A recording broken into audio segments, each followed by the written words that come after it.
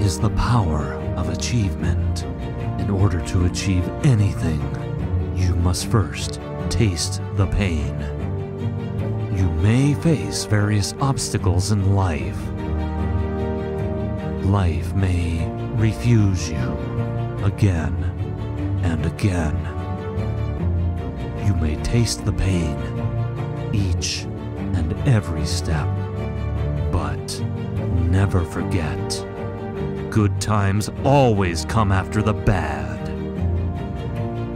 Nobody in life has ever achieved anything important without pain. You are no different. If you can tolerate the pain in bad times, then the good times will be a sweet and significant victory.